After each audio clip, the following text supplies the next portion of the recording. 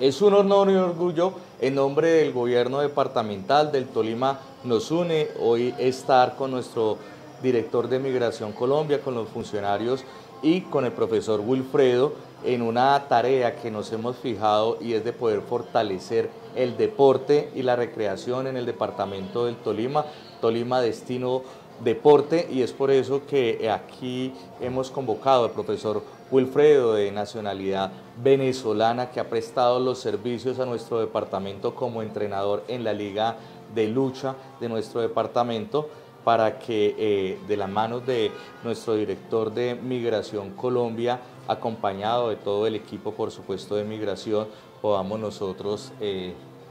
hacer la entrega del PPT para poder que continúe desarrollando su actividad eh, deportiva y económica en nuestra tierra tolimense.